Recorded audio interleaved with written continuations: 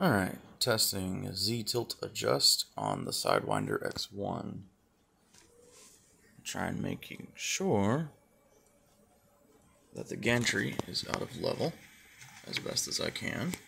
Although it's really hard because this gantry doesn't want to actually go out of level. But there.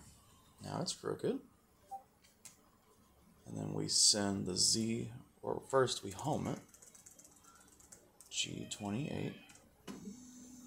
Now it's going to home.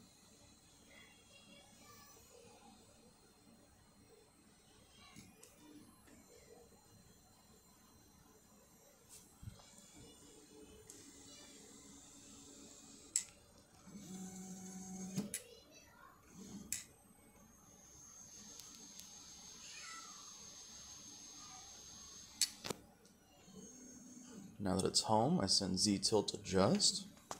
It's going to go to the corners.